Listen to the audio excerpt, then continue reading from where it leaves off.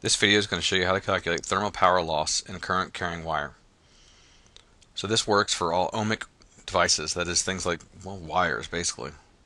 Um, a power line with a diameter of 2.2 centimeters carries a current of 10 amps across a distance of 10 kilometers. If the wire is made from aluminum, then how much power is lost as thermal energy? So here's my wire. Actually, the diameter of the inside piece of the wire that's carrying the electricity of 2.2 centimeters, carrying 10 amps across a distance of 10 kilometers. So to solve this, I'm going to start by listing the givens. So the diameter of the wire is 2.2 centimeters. That means that the radius of the wire is 1.1 centimeters or 0.011 meters.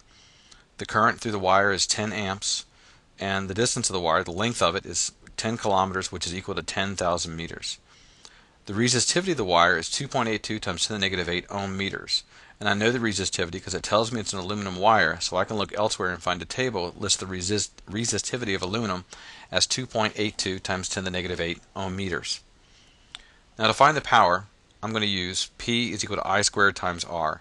I could use P equals IV, but I don't know the voltage, so that formula really won't help me.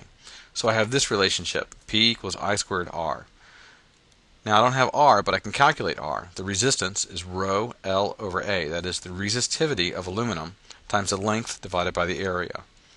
So I'll take in my numbers 2.82 times the negative 8 ohm meters times 10,000 meters divided by the area pi r squared, which is pi times 0.011 meters squared, and that'll give me the resistance.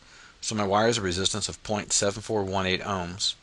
Now I can find the power that's dissipated through heat or thermal energy by using P equals I squared R.